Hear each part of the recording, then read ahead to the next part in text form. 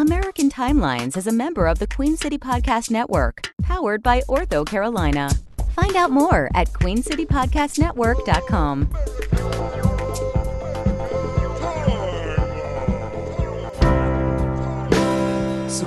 I'm obsessed with time.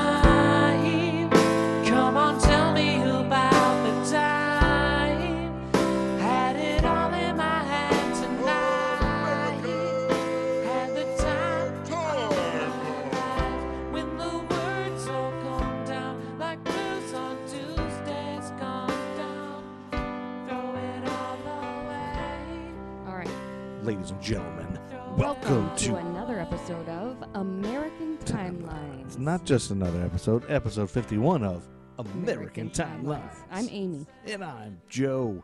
And we are History for Jerks. All right. That I don't know what you're doing there. And I am the best part of the podcast, No, except we- for Amy. now we've had this discussion. Oh, okay. And this is the podcast that brings you all of the crazy, weird things, scandals, hmm R.I.P. New uh, news, Whatever that is. strange, like when rest in peace, like somebody dies, and we talk about it. Oh, Odd news, quirky things, things that would have went viral if viral could have happened if there was a social media. That's right. And And uh, tonight we are. and then Amy will take a deep dive into a murderer or a, a UFO abduction or something crazy. all right. And tonight we are talking about the end of 1978. Yes, this is our last 1978 episode, the third of the three. Yep. And we got a lot to cover, so we don't have time to just babble and explain. If you don't know what the podcast is about, go back to the previous 50 and listen to all those, and you'll you'll, you'll get it eventually. I would skip the, But- maybe the first six or seven, or maybe 10. No, those Just are some of our best stuff. Do you think? I think they're. I don't want to listen. I think this audio quality was probably bad. We didn't know what we were doing. We didn't do any research. Yeah. Yeah. We were just fucking around. We were just, and we are still. We just still are, around. yeah, At least that's that's, yeah. At least that th- hasn't changed. So we left off in July, I believe. Okay. And so the first thing I have here that I don't think we talked about is uh, on Tuesday, July 25th, 1978, Louise Joy Brown is an English woman known for being the first human to have been born after conception by in vitro fertilization. Oh. the yes. first one, the first woman. So Yep. I looked her up. She was born at Oldham Oldham General Hospital in Oldham by planned C-section. Oldham. Oldham, Oldham. Oldham. Those. Neither of those sound correct. O L D H A M. How do you say it? Oldham. Yeah. Oldham. Anyway, she was is a planned C-section delivered by John Webster. She weighed five pounds twelve ounces at birth. Her parents, Leslie and John Brown, had been trying to conceive for nine years. Leslie faced complications of blocked fallopian tubes. Okay. Uh, You said that's in England? it says an English woman known for being the first human. So In England. Then. Oldham General Hospital, probably. Um, cool thing is, uh, hold on a second. Uh, you know, the guy who helped do it all won a no- Nobel Prize. Mm-hmm. Uh, the process was developed by Patrick Steptoe and Robert Edwards and Jean Purdy. mm-hmm. Um, anyway, in 2010, he was awarded a no- Nobel Prize. Edwards was. He was the only one left alive. Uh, so, although people call her a test tube baby, Mm-hmm. her conception actually took place in a petri dish. Oh. And her younger sister, Natalie Brown, was also conceived through IVF four years later. She Oh, became yep. the world's 40th child conceived that way. That's all. that's all amazing what science can do. Yep. And so Leslie Brown grew up, or uh, yeah, Louise Brown grew up and married a nightclub doorman. Mm-hmm. So good thing they went to all that length because she married a nightclub doorman. The the offspring did. Yeah, the yeah the the first baby Oh, born yeah. grew up to marry a nightclub doorman named So Wesley she, Mullinder. So she lived her life. She lived her life out to marry a nightclub doorman. Yep. Yep. All and she had a baby naturally. So boom, she didn't even need it. So there you go. What's next? you don't want to talk more about the No. nightclub doorman? Nope. Friday, July 28th, 1978, the third highest gro- grossing movie of the year Mm-hmm. was released. Mm-hmm. set at a 1962 college, Dean Vernon Wormer is determined to expel the Oh, entire Delta House. Tau Chi Delta Tau Chi fraternity. Yep. But those troublemakers have other plans for him. Robot House stars John Belushi, Karen Allen, and Tom Holtze. That's how you say it. Hulce. Hulce, you Mhm. think? You know who I he think is? it's yeah. I don't think he ever did anything else, did he? Yeah, he was Amadeus. Oh, he was. hmm Oh, oh, that is the same guy. Yeah. Huh. I didn't know what his name was. Yeah, that's the guy from Animal House. Mhm. That's crazy. Okay. John Belushi's performance in the cafeteria scene was entirely improvised. When That's he, awesome. When he began piling food on his tray, director John Landis urged the camera operator to, operator to stay with him. The infamous I'm a zit gag was also improvised, and the reaction from the cast is completely genuine. hmm. Donald Sutherland was so convinced of the movie's lack of potential that when offered a percent of the gross for a flat fee of $75,000 for his three days' work, he took the upfront payment. God, can you imagine seventy five? How much for three days' work? Seventy five hundred. Uh, uh, he could have taken a percentage of the gross or the flat fee of $75,000. Seventy five thousand dollars for three for three days. days. Yeah, we think that's a lot. But if he had taken the percentage deal, Oh yeah, it would have been more. it would have been uh, worth an additional three to four million dollars. Oh my God, for three days' work. Mm-hmm. Yep. Can you imagine that? And the hole John Belushi makes in the wall uh, with the guitar was the only physical damage incurred to the house during the entire production. Instead of repairing it, the fraternity that actually owned the house placed a frame around the hole with an engraved brass tag to commemorate it. I bet. I bet that's still there. And and this was Kevin Bacon's first role. Well, was it really? Yeah. What? I'm trying to remember. What? And when he went Who to he the was it? premiere, he wasn't allowed to sit with the rest of the cast Is he was too young? because the ushers didn't believe he was in it. He had to sit in the back with everyone else. Oh, else. really? Yeah. Kevin Bacon. And then he- probably said, you know, someday people can be playing a game That's uh, right. connecting all the damn movies I'm in because I'm I'll be in everything, jerk. Yeah, That's probably what motivated him. Because he felt like, hey, this is before he apparently it was before he was in Friday the Thirteenth. That was 1980, right? was that him? Friday the Thirteenth. I never got into that one. Yeah, we talked about Kevin Bacon being in it back Oh, in uh, season two. Okay. I don't remember. Are you taking turns? You you gonna just do that? Keep going back and forth between those two beverages? All form of beverages. Got to stay hydrated when you drink delicious beer. Mm-hmm. That's Um, true. That beer that I'm drinking is from Columbus. okay. It's called um, Hazy Jane. All right. Okay. All right. And then on Saturday, August 12th, we got a new number one single on the Billboard charts. but it's rocking. Do you have any idea what it is? Nope. Not with any without any clues. The new number one song on the Billboard chart is a song by American soul group The Commodores. Once, twice, three times a lady. Yes, from their 1978 album Natural High. It was produced by James Anthony Carmichael and the Commodores. It was the only Motown song to reach the top 10 on the U.S. Billboard Hot 100 that year. Really? It was the Commodores' first Billboard Hot 100 number one hit, topping the chart for two weeks on August 12, 1978. And it also went to number one on the Soul chart for two weeks. Okay. The song spent three weeks at number one on the adult contemporary chart. Here is the Commodores, Three Times a Lady, on Soft Rock FM. Yeah. I'll be back in just a moment with my shirt off. With and Weather on the pants. eights. Weather on the eights. We're gonna have sleep tomorrow, and I have diarrhea in my pants. All right, you better turn that off. Fair use, babe. Feet times a mayday. Uh, no, so I I think something else. I've looked up that with the whole fair use thing. Yeah. we might be good because um, if you're talking about a song and their Oh. historical significance, I think you're good. Oh, really? So I think because we're talking about these, I think We're not using them for like the yeah, we're not playing music yeah or something or intro music or any- or theme songs or anything. I could be way off. Oh, and here's where I messed up too. This is where I got. Remember, I said I had s- some songs out of order. Yeah. Um, I had that one first, but this uh, next one was actually before it. Uh, let me cue it up.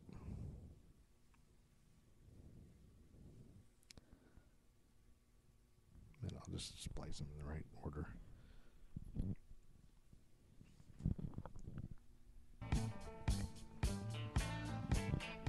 On August 5th, Yeah. 1978, the Rolling Stones Yep. take over the number one spot That's on the one. Billboard chart with. You know the name of it? Written by Mick Jagger and Keith Richards. Oh God, it's on the tip of my tongue. The name of the song. They have an extended version called the Special Disco version.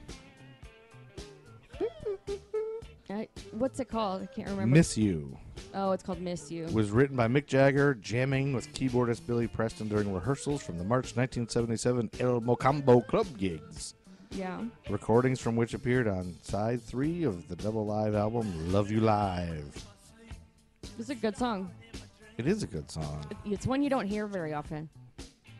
Uh, unless you live in Toledo, it's on 1047 WIOT. Is it? yeah. Which their billboards No, usually does say. anybody really live and li- listen to the radio anymore? I don't know. Probably. Uh, yeah, people go to like these kind of like people go to classic rock concerts. Probably do. That- Listen to the radio yeah, still? guys have tattoos on their forearm Yeah. and smoke cigarettes. They still listen. Jagger Steve and Ronnie. You just Yeah. you just described Steve Bishop. Jagger and Ronnie Wood insist that Miss You wasn't conceived as a disco song, while Richard said Miss You was a damn good disco record. It was calculated to be one. So we don't know who was right. In any case, what was going on in discotheques did make it to the recording. Charlie Watts said a lot of those songs, like Miss You, uh, were heavily influenced by going to the discos. Oh, it doesn't sound like a disco song at all. But like I said, they had a disco version. Yeah. This is a little disco-y. Yeah. The bass. This is disco, yeah. The bass is. Come on, I can see the disco-y. white bell bottoms, Yeah. French kissing some lady, being all sweaty. Everybody's got coke in their mustaches. That's right. That is right. Okay. Um, and then on August, Saturday, August 26th, 1978, well, Mhm. we're going right to the music again. We have another number one. You said what? What's the date? August 26th. Okay. Saturday, August 26th, 1978. Whoops. No, August 26th, 1978. Oh yes. To go with the movie, You know who wrote this? Frankie Avalon. No. Performed by Frankie Valli. Oh, Frankie Valli's who I was thinking. But you know who wrote it? I used to. The same guy who wrote every other song this year. Um. God, what was his? What was the name on? He's got a beard and he makes out with his brother. Oh, Barry Gibb. Wrote wrote Yeah, this song. He wrote this song, yeah. I didn't know that Yep. I didn't think you did. That's why I was guess made you guess. because I studied that album so thoroughly with all the pictures. You know how it o- opened up like a yearbook. And Yeah. there was all the pictures All on their the pi- inside. yeah, right, and yeah. I studied that h- album so intently that I thought Barry Gibb I wasn't would. on there, was and he? Not that I remember, but it must have been. This track was specifically written for the 1978 musical motion picture. Was not used in the stage production of Grease. No, that's right. Yeah. Anyway, it's a pretty cool song. Did Grease? Grease was new on Broad. When when did Grease come out? Grease come out on Broadway? I wonder. Oh, um, that's a good question. So 1971. Musical set in 1959. In 1975, Keith Moon began a relationship with Swedish model Annette Walter Lax, who later said that Moon was so sweet when he was sober that I was just living with him in the hope that he would kick all his, all this craziness. She begged Malibu neighbor Larry Hagman to check Moon into a clinic to dry out, as Oh, he had wow. attempted to do before. But when doctors recorded Moon's chemical intake at breakfast, a bottle of champagne, Courvoisier, and amphetamines, they concluded that there was no hope for his rehab. In mid 1978, Moon moved into Flat 12 in Mayfair, London. Yeah. Uh, and he was renting from Harry Nilsson. Cass Elliot had died there four years earlier at Oh, the age wow. of 32. Nilsson was concerned about lending the f- uh, letting the flat to Moon, believing it was cursed. Pete Jeez. Townshend agreed, assuring him that lightning wouldn't. Or Pete Townshend disagreed, assuring him that lightning wouldn't strike in the same place twice. After moving in, Keith Moon began a prescribed course of Heminevrin, hmm which is a sedative to alleviate his alcohol withdrawal syn- syndromes. God, you do. You would need a sedative. I Oh, would yeah. think. He, Just, yeah, I don't know why they don't do that to everybody. Just knock them out, and let them sleep through it. he- yeah, to get their withdrawal done. Yeah, put them in a coma. I wonder if that is the best way. Oh my god, that's delicious. All right. Uh, he wanted to get sober, but due to his fear of psychiatric hospitals, he wanted to do it at home. Clometh- clomethiazole is discouraged for unsupervised detoxification because of its addictive potential, its tendency to induce tolerance, and its risk of death when mixed with alcohol. Gee, so it's just as bad as the other shit. That yeah, you shouldn't do it unsupervised at all, but he was afraid of hospitals, so they let him do it. The pills were prescribed by Jeffrey Dymond, a, a physician I think you're gonna say Jeffrey Dahmer. No, Jeffrey Dahmer, a physician Yeah.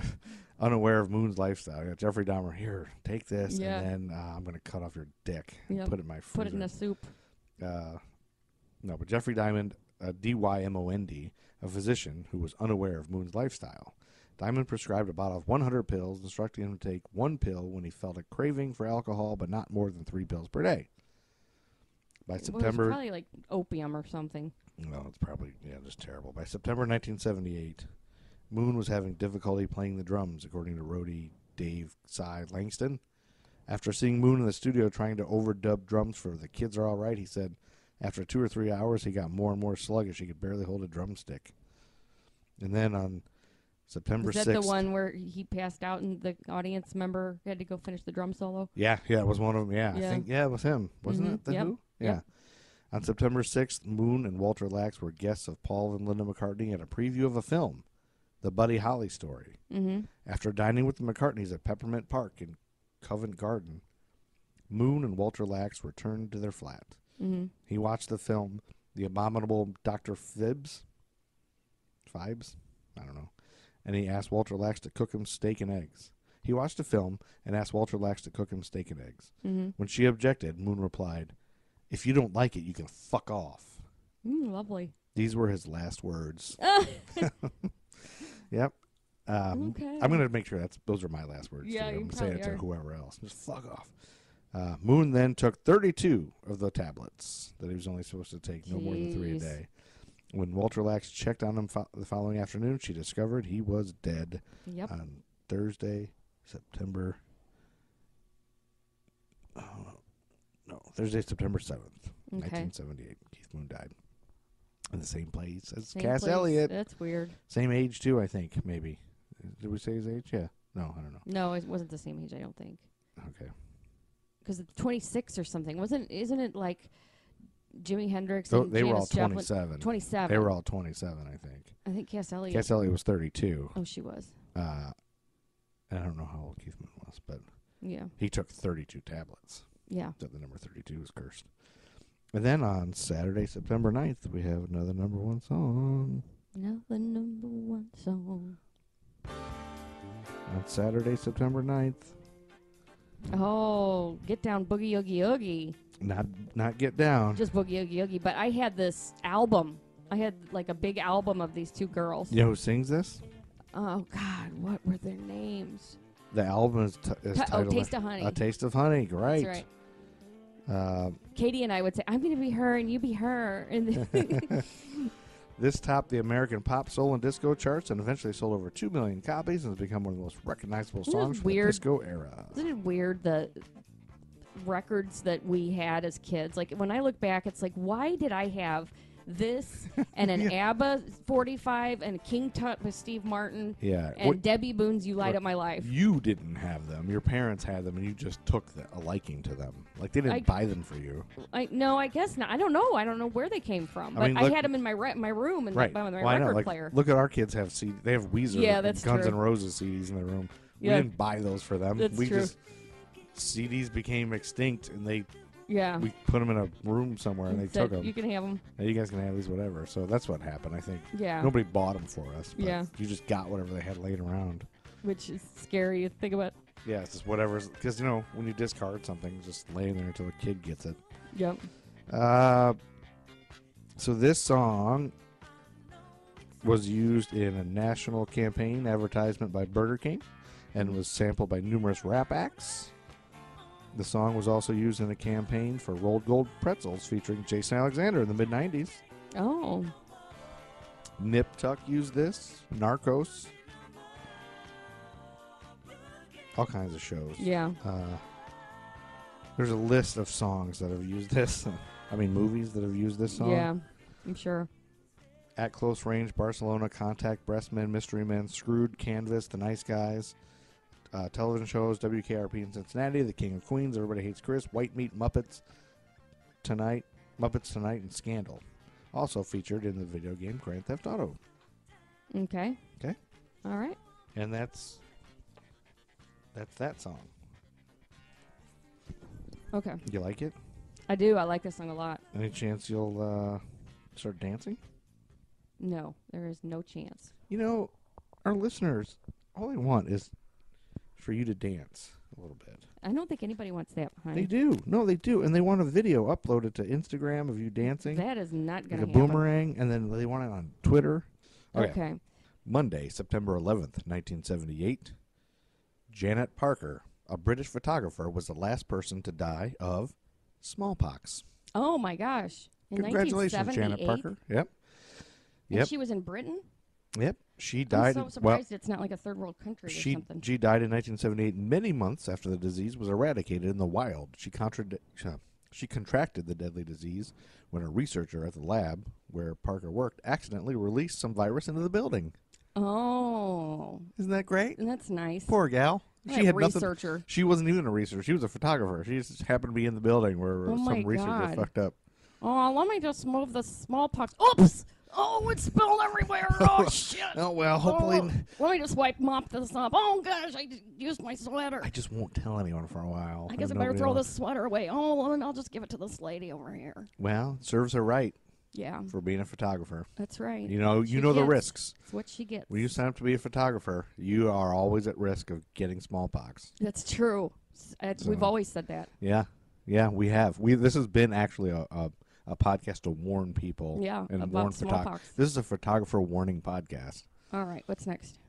Saturday, September thirtieth, nineteen seventy eight.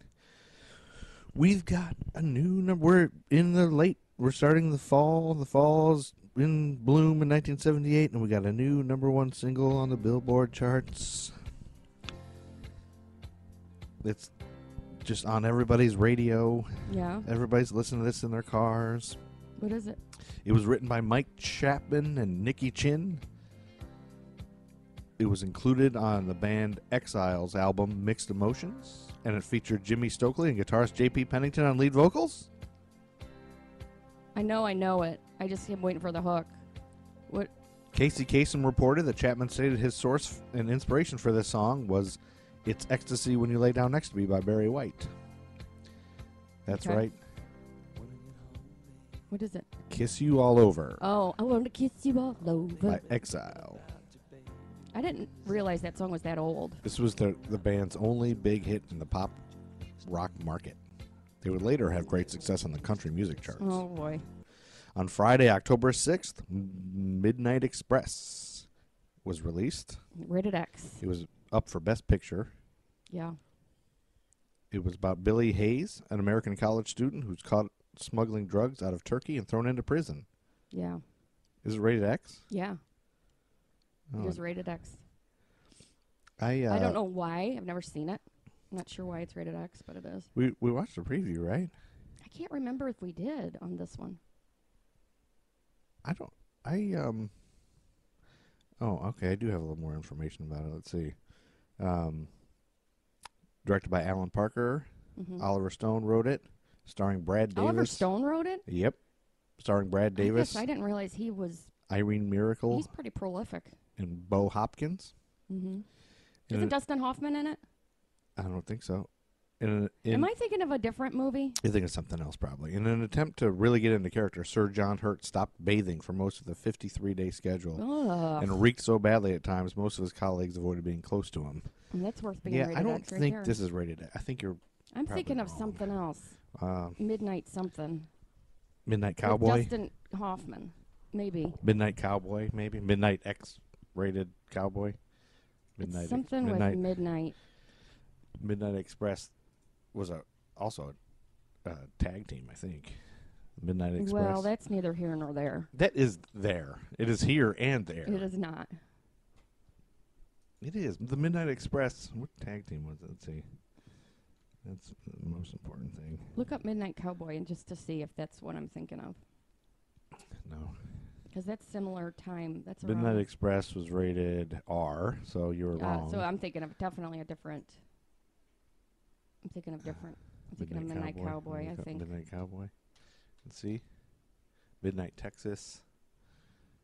I like seeing what comes up. Like I'm, I got M I D N I G H, and the, it thinks I want to say Midnight Texas, Midnight in Paris, Midnight Sun, Midnight Cowboy, 1969. Dustin Hoffman and Jon Voight. that's the one that's rated Oh, yeah. X. That's rated R. Oh, it's So you're uh, wrong it about was that. rated Maybe X was- at some point. Maybe it was rated X because Jon Voight and uh, Dustin Hoffman's 69. And No, I don't think so. yeah, okay, all right. they might. They probably do. I do. don't think that happens. I'd pay for that. Mm, gross. All right, Saturday, October 14th, Jimmy Carter signed the bill that made home brewing legal in 1978. Illegal? Legal. Oh, legal. It became legal to brew at home. It took a, it didn't take effect. God, can you imagine though. the can you imagine the taste of the first home brewed in the seventies? Like the beer must have been awful. The home brewing of beer with an alcohol content higher than 0.5% remained illegal until 1978 when Congress passed a bill repealing federal restrictions and excise taxes. President Jimmy Carter signed the bill, H.R. 1337, into law, and then he slammed four beers. And he jumped on the beers. table. He jumped on the table and did a little full Monty. So people that were before that doing like having it was moonshine, illegal. It was like moonshine, moonshine. illegal. And, well, this is beer. Moonshine's not really beer. Oh, it's not. No, What's moonshine? it's like Like grain alcohol or or something. Yeah, something oh, like it that. is. I think. Would you ever drink it? Would you I have it? drank it. You've drank moonshine. Yes. When? Moonshine's huge down he- down here in the South, baby. Where? Who has moonshine? Kevin Bacon, for one, has moonshine. I actually drank some of Kevin Bacon's moonshine. Wait a minute. Yes. What? I never told you about this. No. All right, so Kevin Bacon, the Kevin Yeah. Bacon, who we talked about earlier on this episode, uh, who was his first movie was Animal House, Yes. and we talked about him in a previous episode because he was in Friday the Thirteenth. Yes. Kevin Bacon is a famous actor. People Mhm. pay the, the Kevin Bacon game. Yeah. Kevin Bacon also has a band with his brother, Yeah. Who is like it's like your typical star's brother, like uh, Clint Howard or uh, yeah. uh, uh, Brian Doyle Murray. His Mhm. brother is like not attractive, kind of chubby version Mhm. of Kevin Bacon. But they have a band together where they play they play guitars and sing. Oh, really? whatever. Yeah, it's like a folk band. Yeah. Nobody comes to see it though, Okay. even though he's Kevin Bacon. So half the people probably come because Kevin Bacon. Anyway, so he was in a venue that I was working in at the time, and so uh, he had moonshine, uh, illegal moonshine that was brought in, which is a no-no. They're not supposed to do that. Why would he bring in moonshine? they made their own. Like they they had somebody in What? their band or somebody that made their own, so they had some moonshine, so they It's shared it. bizarre. They shared it with a few people. They shared it with you. Well, yeah, because I think.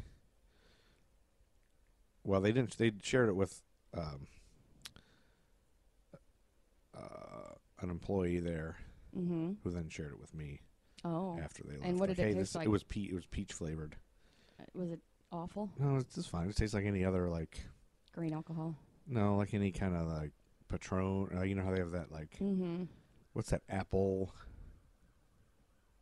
what's that like apple flavored that people drink apple pucker or whatever that Oh, people drink like stuff that? like that like i don't know it just tasted like liquor that was flavored flavored vodka or whatever else anyway i love craft beer have i, I have I mentioned that Yes, several times, hourly. um, american timelines is part of the queen city podcast network sometimes we drink nothing to craft beer together There's nothing to do with this. No, we had a Queen City Podcast Network meetup at a brewery. Yeah. Oh no, it wasn't a brewery; it was at a bar. Yes, it was. Yeah. All right. Shout out to Brian? Baltasevich. Can we move on? Jeez, somebody's in a bad mood. Saturday, October 4th. Oh, that same day that Jimmy Carter Yeah. signed that bill, Yeah. pilot Frederick Valentich and Valentit. his, Valentich Oh.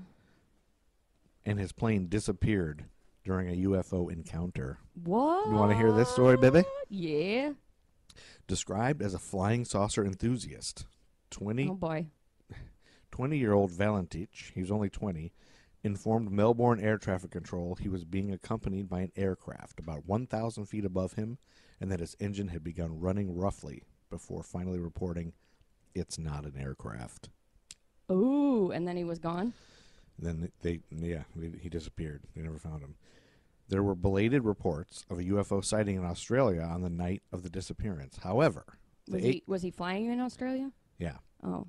However, the Associated Press reported that the Department of Transportation was skeptical skeptical a UFO was behind Valentich's disappearance, and that some of their officials speculated speculated that Valentich became disoriented Mm-hmm. and saw his own lights reflecting in the water or lights from a nearby island while flying upside down.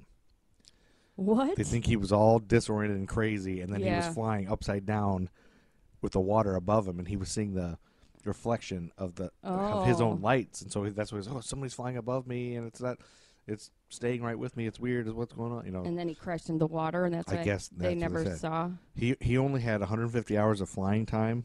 It was authorized to fly was. oh, he was authorized to fly at night, but only in clear conditions.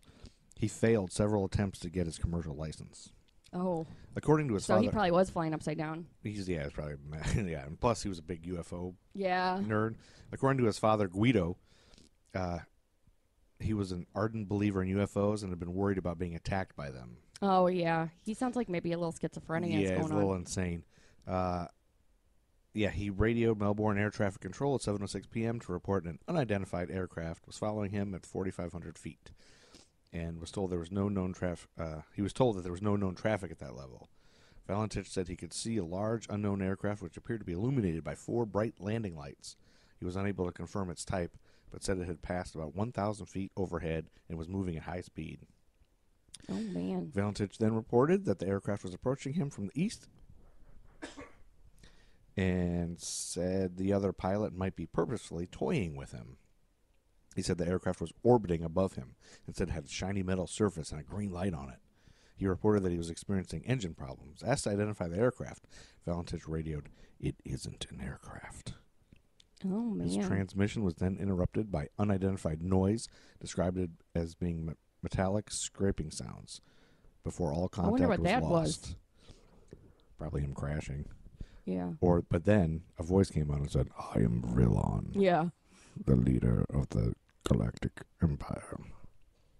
Uh, ufologists have speculated that UFOologists have speculated that extraterrestrials have either destroyed his aircraft or abducted him, asserting that some individuals reported seeing an erratically moving green light in the sky, Wow. and that he was in a steep dive at the time. Ufologists think these accounts are significant because of the green light.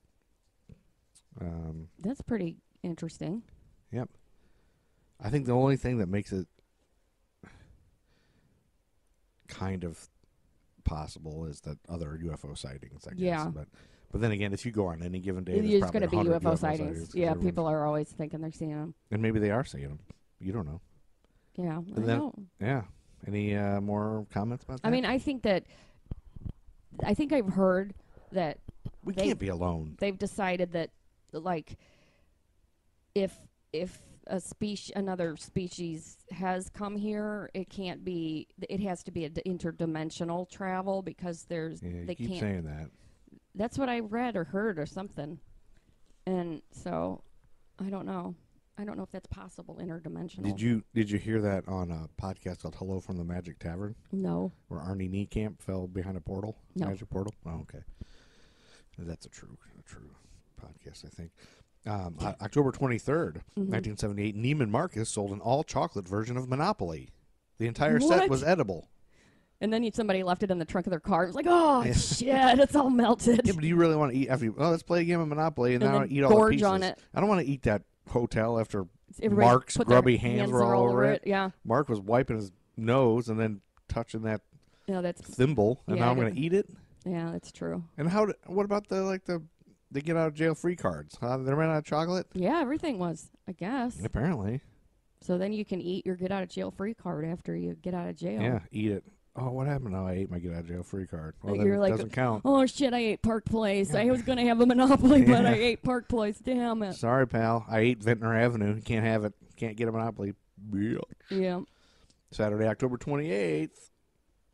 We got another number one single on the Billboard charts. Ladies and gentlemen. Taking over the Billboard charts is Nick Gilder. Nick Gilder. Yeah. He's a Canadian musician. This is a single from the album City Nights. Is this uh, Hot Child in the City? It is.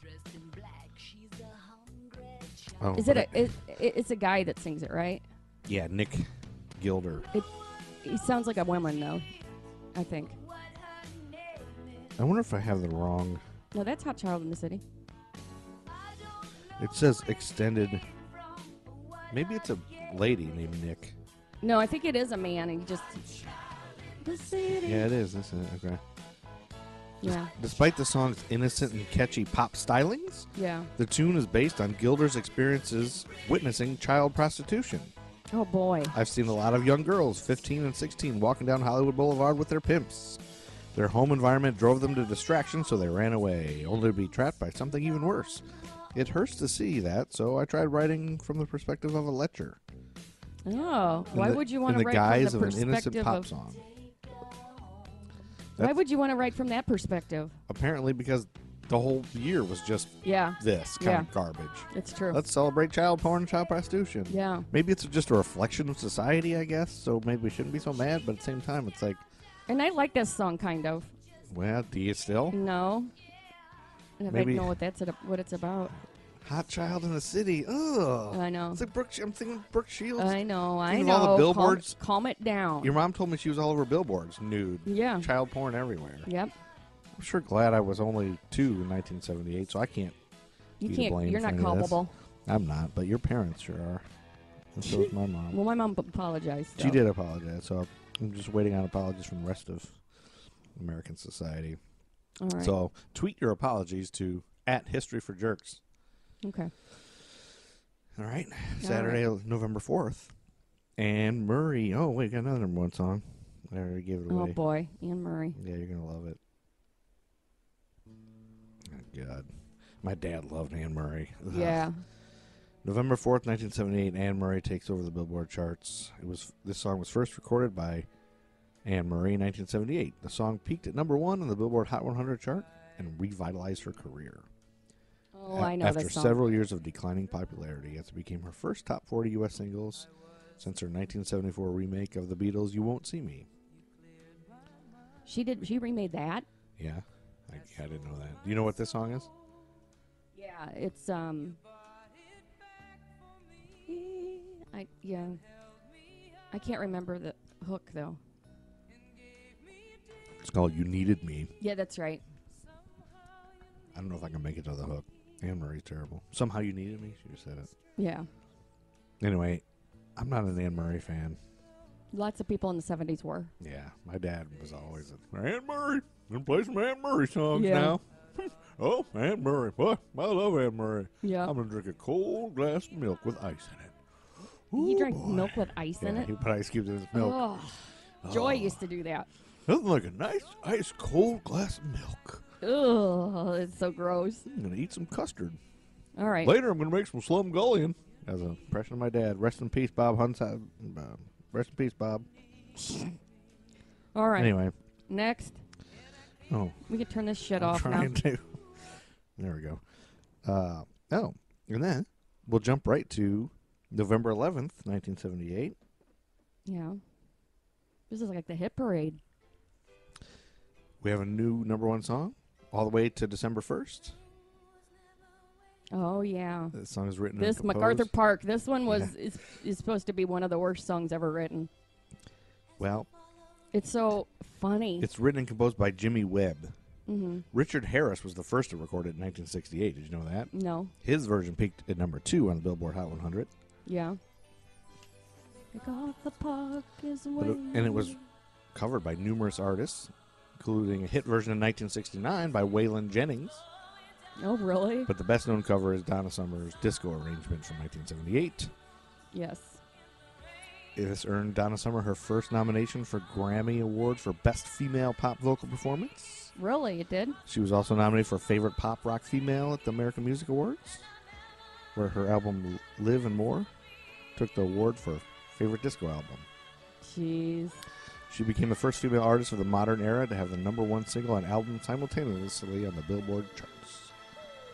So I, I'm- I meant to, I, I accidentally left out something about the writer. He wrote the lyrics. Because the lyrics are hi- awful. He wrote the lyrics. someone left a cake out in Yeah. the rain. He was in a park somewhere writing the lyrics down, and he just was writing everything he saw, oh gosh, and so he saw the that explains cake. it. Yeah. Birds like tender babies Yeah. in your hand. Shiny chickens. Checkers, Shiny chickens by the tree. checkers by the tree? Oh, tree. Chinese checkers. Chinese checkers by the tree. People playing that in the park. Yeah, What was melting in the? MacArthur Park is melting in the dark. All the sweet Yeah, green so he's in icing that park, flowing yeah. down. Yeah. All right, So he saw somebody actually left the cake. so ridiculous. Yeah. Anyway, that's dumb. So I'm gonna go back a little bit. Okay, go back in the Wayback Machine. Go back into way back. in the wicked, The wicked, wicked, wicked, wicked, wicked Wayback Machine. Yes. Wicked, wicked, and wicked, to wicked. March 17th, 1942. That's St. Patrick's Day. You didn't give me that date to look up television Oh, shows. it's 1942, We're gonna be get to the 40s. shows. Oh, radio shows. I guess. Oh, I that was don't the know. same day. Maybe there was television. I don't know. Um, when was television invented? You gotta ask your Google. yeah, John Wayne Gacy was born. Oh, we're just gonna jump right into his yes, name, huh? in Chicago, Now, Illinois. I will say earlier today you revealed that this is what you're doing. I I thought John Wayne Gacy was the son of Sam. no, that was David Berkowitz. And we talked about that already. Yes. And who was the who was the Hillside Strangler? That was John Wayne Gacy. I thought. No, that was Kenneth Bianchi and Angelo Buono. And who was the Night Stalker? I thought that was John Richard Wayne Gacy. Ramirez. Now, which one's John Wayne Gacy? Was he a fat guy? yes. Oh, he was the fat guy. I thought he was. He's the fat guy that the dogs were barking at. No, right? that's David Berkowitz. Oh, They're both David fat Ber- guys. Oh, they're both fat guys. Yeah. He's the clown. John Wayne Gacy's the Yes. clown. Oh, I thought that was all one person. No. God, what? All right. So many murderers. So he was born in Chicago, Illinois. He was Okay, the I've been second there. of three children and the only son born to John Stanley Gacy and Marion Robinson. Oh, he was an only child. That explains no, it. the only son. He Oh, the was the only second son. of three children. We used to live in Chicago. yes, we did. From age four, Gacy was verbally and physically abused by his alcoholic father. You know, I think I'm sensing a, sensing a pattern here. Yes, there's a little bit of a pattern with So, just a quick American Timelines PSA: Don't beat your kids because they'll end up murdering everybody. that. That's right. Okay, just don't do it. Don't beat your kids and Don't don't be abusive. Don't have a head injury. Yeah, that's true. Despite the abuse, Gacy admired his father and constantly sought his approval. It's like that Munchausen syndrome. No, No, what's the it's one not. where you love your kidnapper? Stockholm syndrome. Stockholm syndrome. You just love them no matter that you don't Yeah. know that it's wrong that they beat the crap out of you and are mean to you. And in return, his father would hurl insults at him, telling him he was stupid and acted like a girl. That's great. When Gacy was seven years old, he was molested repeatedly by a friend of the family. God, What a great friend. Yep, he never told his parents about it, fearing his father would find him at fault that he was, and he would be severely punished. Well, it was his fault. When Gacy was Just kidding. Yeah, no. When Gacy his was in elementary school, he was diagnosed with a congenital heart condition, which limited his physical activity. Holy crap. And as a result, he became overweight and endured Ah. teasing from his classmates. Oh, poor guy. At age 11, Gacy was Jeez. hospitalized for several months at a time after experiencing unexplained blackouts. His father decided Gacy was faking the blackouts because the doctor was unable to dis- diagnose wh- why it was happening. After five years of being in and out of hospital, it was discovered he had a blood clot in his brain, which was treated. Holy shit, poor guy. So everybody's treating him like shit. He's got all this stuff wrong with him. They're making fun of him because he's fat because of the things, Mm-hmm. and he's molested, and he's beaten and abused. Mm-hmm. So let me ask you this: I, I'm not, I'm Yeah. not um, advocating for the movie Minority Report to become a thing, right. and you can't predict what's going to happen with people, but. All of these murderers have all had lives like this. Like, say you get to this point before you Not mur- all of them. Jeffrey Dahmer had pretty normal, Oh, he did. mm-hmm. Well, and- relatively. well, he gets to this point. Like, is it safe to assume he's going to be a murderer? So can we just like lock him away now? No, you can't. Put him in jail before he does anything. Because a lot of people have this kind of stuff go happen in their lives and they don't grow up to be Oh, they do. anything yeah. bad. You're right. There's probably a bunch of people that have Yeah. all that. But there's probably somebody listening right now being like, "Yeah, I had all that. I Yeah, didn't kill right. nobody. right. Exactly. I'm just a, I'm just a guy who blows glass That's right. on the weekend." But Gacy's delicate health issues failed to protect him from his father's drunken wrath. He received regular beatings for no particular reason other than his father disdained him. After years of abuse, Gacy taught himself not to cry. This was the this was the only thing he consciously ever did that he knew would provoke his father's anger. by not crying. He, no, crying, Crying would would, provoke yeah. it. Gacy found it too difficult to catch up with what he had missed in school while hospitalized, so he decided to drop out. His being a high school dropout solidified his father's constant accusation that Gacy was stupid. At the age of 18, Gacy was still living with his parents. He became involved with the Democratic Party and worked as an assistant precinct captain. So why would he live with them? Why wouldn't you go immediately at 18? Yeah. Like, get the fuck out of there. It was during this time that he began to develop his gift for gab. He enjoyed the positive attention he received in what he felt was a prestigious position. But his father quickly squelched whatever good came out of his political involvement. He belittled Gacy's association with the party. He called him a party patsy. Gacy's years. Wait a second. We talked about this, right? Him working in a political office of somebody. No, that was Ted Bundy. Ted There Bundy was Ted a Bundy did that Republican. too. He was a Republican. Yep, And they all, God, this is so weird. I know. We've never talked about John. Who No. was this? John Wayne John Gacy? Wayne Gacy. We never talked about him. Gift So- of gab. Gacy's um, years of abuse from his father finally wore him down. After several episodes of his father having refused to let Gacy use his own car, he had enough. He packed his belongings and escaped to Las Vegas, Nevada. Okay, good. He got away, and everything's fine in the end, and nothing ever else happened. Um, he well, lived happily ever up, after. Buckle up, he had babe. a nice lady he met, or a nice fella. In Las Vegas, Gacy worked for an ambulance service for a short time, but was then transferred to a mortuary where he was employed as an attendant. He often spent nights alone at the mortuary where he would sleep on a cot near the embalming room. Oh boy, he's gonna bang dead bodies. On the last night that Gacy worked there, he got into a coffin and fondled the corpse of a teenage boy. Well, I mean, well, let me think about this. If I'm being honest, Mm-hmm. I mean, hasn't everybody fondled a dead body of a child? Lord, Just kidding. I know that's it's wrong. terrible. Boy, I'm so wrong. Afterward, he was so confused and shocked by the realization that he'd been sexually aroused by a male corpse that he called his mother the following day and, Now- wi- without providing details, asked if he could return home. Okay, what? what why? Why are we? Why is he appalled that it's a ma- like? Is he less appalled if it's a female corpse? At least I'm not I know. into. Uh, at least I'm not gay dead body Yeah. like her. I just dead body. Like, it was the lady dead body. Yeah, his mom would be like, "Yeah, that's fine." Of course, the woman, of course, that makes sense. But it's a gay dead body. Now, Yeah. Now I'm now I'm ashamed That's right. because of the '70s. So his father agreed, and Gacy, who had only been gone for 90 days, quit his job at the mortuary and drove back to Chicago. Oh boy, that's a long drive. Back in Chicago. After you've just fondled Yeah. a dead b- child. Yep. And back in Chi- Chicago, Gacy forced himself to buy the experience, to bury the experience at the mortuary and move forward. Buy the experience. No, despite not having completed high school, he was accepted at Northwestern Business College when he where he graduated in 1963. Wait a minute. Northwestern took him without even graduating high school? That's what. Yep. Why does take anybody? I guess back then. Isn't Northwestern's motto, that's okay, that's all right, that's okay, you'll work for us someday? I don't know. That's for the yellow people. Oh, it is. Yeah. He then took a management trainee position with the Nunn Bush Shoe Company and was quickly transferred to Springfield, Illinois, where he was Wait, promoted wait, to a management Wait, wait, position. Wait, wait, wait, Did he drop, wait, did he finish his business degree? Yeah, And then he got a job a graduated in store? 1963. Mm-hmm. Okay. Marlon Myers was employed at the same store and worked in Gacy's department. Marlon Myers, y'all. the two began dating, and nine months later, they married. Oh, two dudes? No, Marilyn. Oh, I said, you said It's Marlon. Mar- It's spelled funny. It's Marilyn, but oh, there's okay.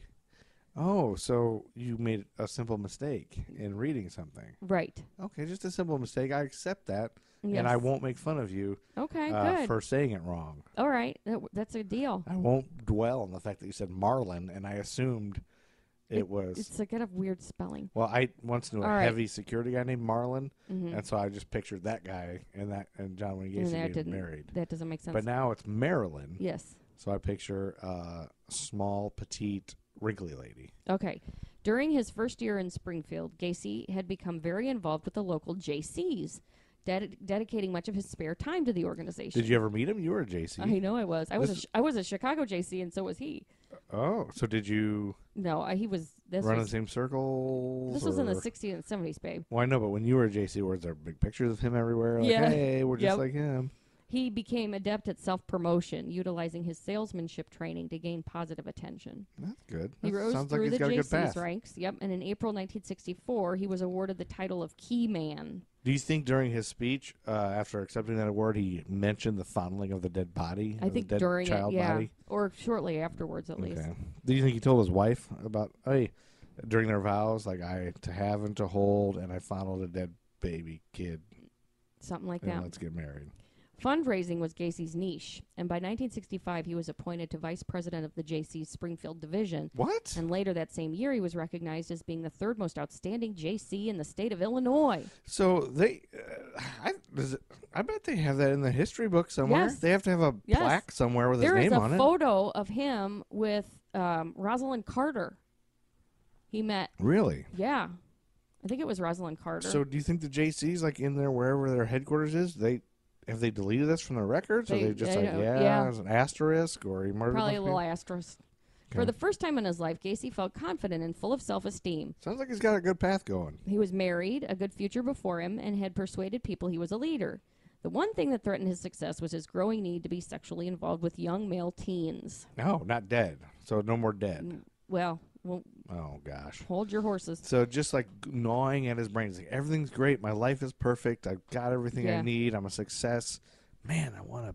I, I really loved jerking off that dead body. Yep, that's right. I want. I can't stop thinking about these children. After dating in Springfield, Illinois, Gacy and Marilyn married in September 1964 and then moved to Waterloo, Iowa, where Gacy managed three Kentucky Fried Chicken restaurants. Well, that makes sense. The next logical step. I bet. uh Well, that was a fun wedding.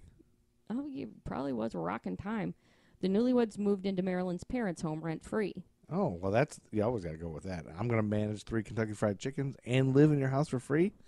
That's making bank. Some good savings. Think how much money you make. I know. Gacy soon joined and the water. delicious chicken. he soon joined the Waterloo JCs and once again quickly moved up the ranks. In 1967, he received recognition as outstanding vice president of the Waterloo JCs and earned a seat on the board of directors. But unlike the, sp- in Springfield, the Waterloo JCs had a dark side that involved illegal drug use, wife swapping, prostitutes, and pornography. What? For real? The JCs? Yeah. the JCs. Like they're they're they're like charity workers, like Mhm. doing good in the world, know. and they're doing all that. Say it again: drugs and sex. and illegal drug use, wife swapping, prostitutes, and pornography. Well, illegal drug use is pretty broad. Weed was illegal, so it could be that. That's That's true. fine. The Yeah, wife so- swapping, yeah. Who doesn't wife swap in their local In the, in the 1970s. in the seventies? Yeah, it's the seventies. Yeah, every you were required to wife swap. Brooke Shields was a twelve year old in the movies naked. that's right. You were required. So Gacy slid right into the position of managing and Slid right in. Regularly position. participated in these activities. slid right into the position. Gacy also began to act on his desires to have sex with male teenagers, many of whom worked at the fried chicken restaurants he managed. Oh gosh, he Billy, you want to work at this KFC? All you gotta do is Yep. let me play with your balls. He turned a basement room into a hangout as a way to attract teens. Yeah, that would make sense. He would enti- Teens love basements. Did you ever see that '70s show? Yeah, that's all they would that's do. what it's based. It's sit in the based on this. It's based on this. Uh, Yeah, on on this. That '70s show is based on On this. John Wayne Gacy. John Wayne Gacy. Yep. All those kids were Were molested. JCs. JCs. I think. I think. would- pretty sure. He would entice the boys with free alcohol and pornography. Gacy would then take sexual advantage of some of the boys after they became too intoxicated to put up any resistance. And you know, if I'm a young boy and I'm like, eh, I'm weighing the thing, I'm like, oh, it's free alcohol and porn. Yeah, yeah. Sometimes he does things to my balls and stuff. and- but free porn and alcohol. eh, no, gotta weigh nobody's weighing it. No, nobody's, nobody's weighing, weighing it. it. That's just a joke. While Gacy was molesting teens in his basement and doing drugs with his JC's pals, Marilyn was busy having children. But at least he hasn't murdered anybody yet. She's No. having kids. He's got a nice family. If he can just stop doing which this- means, and it always blows my mind that there's children, John Wayne Gacy's children out there somewhere. oh gosh, yeah. Oh, he didn't. He doesn't, he doesn't Grandchildren kill and him and eat stuff. him or anything. No. Um, Well, we haven't got any murders, right? There's been no murders. not yet. Well, we've already spent almost a whole hour talking about this, so we're gonna have to split another episode into two episodes, and we're gonna have to come back and finish the John Wayne Gacy uh, next episode. Sorry, everybody, but we gotta go because we're out of time. All right, that's it. And we'll see you uh, next time. Seriously, right now, just go to uh, iTunes and give us a review of five stars and say something nice. Right, yeah, and and do all that stuff and Just take a couple seconds. Vote us. Vote for us on the. Uh, you have a few more days left to vote for us on the Queen City Podquest. yes. Look up queencitypodquest.com. We're in this contest where if we win, uh, the local NPR station has to has to help us pr- has to produce our show. So really, it's gonna be a joke for us to be in it because Yeah. like they'd be, oh great, we gotta We gotta have this- produce these two jackasses talk, talk about, about rim jobs and pubic everything hair all the time. and pubes. Like we have to produce this. Yeah. So there's no way we'll win because we're we, yeah. But so vote for us for a joke and then get Well, your friends. a comedy podcast could win Yeah, a comedy podcast. loosely, a comedy podcast could win. but we're not really a this comedy one podcast. on yeah. NPR for us to talk about like it's just. Oh, Oh, that's good timing. it's time to end the song. Yeah, Chuck Berry's walking in. yeah. Wait, let me turn that off. That's just my ringtone. Um, Here but comes- anyway, but yeah, here here comes, comes Chuck Berry. we'll see. you So, later. That's not even here. that's not even our outro song anymore, isn't it? Oh, it's not. Anyway, Matt Truman, Ego Trip is the greatest in the world. All right. I love all of you.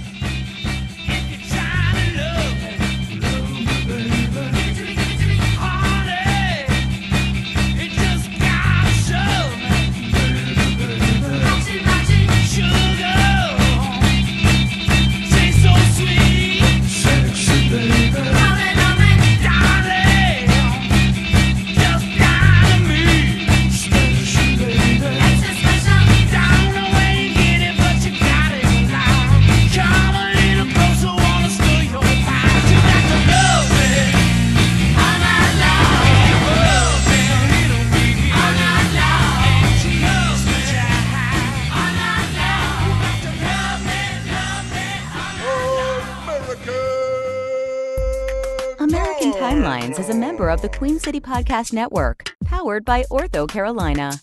Find out more at queencitypodcastnetwork.com.